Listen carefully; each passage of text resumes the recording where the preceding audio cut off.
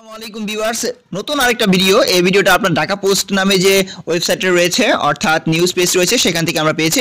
তো এখানে লেখা রয়েছে, আটকে থাকা টাকা বছরের শুরু থেকে ফেরত পাচ্ছেন গ্রাহকরা। অলরেডি টোটাল যে সাইটগুলোর কথা বলা হয়েছে, এখানে দেখতে পাচ্ছেন ই ভ্যালি এলোসামার্ট ধামাকা ধামাকা শপিং যেটা রয়েছে এটা Sirajganj shop e Orange Qcoom এদের টাকা নতুন বছরের শুরু, অর্থাৎ জানুয়ারি মাস থেকে ই ভ্যালি কিউকম ধামাকা, ই, অরেঞ্জ সহ এক ডজন ই কমার্স প্রতিষ্ঠানের কাছে আটকে থাকা টাকা অর্থ ফেরত পাচ্ছেন গ্রাহকরা।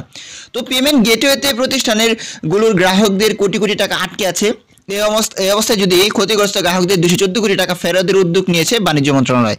এর মধ্যে মামলার বাইরে থাকা প্রতিষ্ঠানের গেটওয়েতে আটকে থাকা টাকা জানুয়ারি থেকে ফেরত পাবেন গ্রাহক। তো বিষয়টা আসলে বাণিজ্য মন্ত্রণালয় থেকে পাওয়া হয়েছে, তথ্য থেকে যেটা বোঝা গেল। লাস্টে পনেরো ডিসেম্বর এসকো সার্ভিসে আটকে থাকা ই কমার্স প্রতিষ্ঠানগুলোর টাকা ফেরত দেওয়া শুরু করতে পেমেন্ট গেটওয়েগুলোকে নির্দেশ দিয়েছিল বাংলাদেশ ব্যাংক। কিন্তু ই কমার্স প্রতিষ্ঠানগুলোর বিরুদ্ধে মামলা থাকায় জটিলতায় পড়তে হয়। অর্থাৎ টাকাগুলো পেয়ে যাওয়ার কথা ছিল, কিন্তু মামলার কারণে সেটা হয়নি। তাই এই অর্থ ছাড়ের জন্য ই কমার্স প্রতিষ্ঠানগুলোর বিরুদ্ধে সব মামলার তথ্য সাত দিনের মধ্যে মন্ত্রণালয়ে জানাতে পুলিশ সদর দপ্তরে গত সপ্তাহে চিঠি দেওয়া হয়।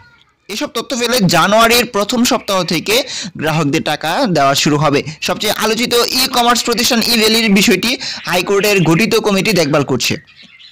তো এখন এই যে তথ্যগুলো আমরা এখানে দেখতে পাচ্ছি বা এই সকল তথ্য কিন্তু অলরেডি টোটাল একটা দুশো চোদ্দ কোটি টাকার কথা বলা হচ্ছে। এই টাকাগুলো কিন্তু সকল ই কমার্স সাইডের যে টাকার কথা সেটা রিং আইডির যে দুশো চোদ্দ কোটি টাকা সেটা নয়। রিং আইডি হয়তো টাকার পরিমাণ আরও অনেক বেশি রয়েছে, যেটা আমরা এখনও ঠিক মতো জানি না। তবে এটা হচ্ছে ইভেলির বর্তমান সম্পত্তির পরিমাণ পঁয়ষট্টি কোটি টাকা, আর অলরেডি দায়ে পড়েছে পাঁচশো কোটি টাকার দায়ে পড়েছে ইভেলি তো এখন দেখা গেছে যে যেসব প্রতিষ্ঠানের কথা এখানে বলা হয়েছে ইভেলির পথ অনুসরণ করে ই ওয়ারেন্স Dhamaka shopping Q Qcom Sirajganj shop আনন্দের বাজার এসপিসি ওয়ার্ল্ড বড় একটা খবর SPC world Nirapod dot com সহ অনেক ই কমার্স প্রতিষ্ঠানের কার্যক্রম বর্তমানে বন্ধ রয়েছে।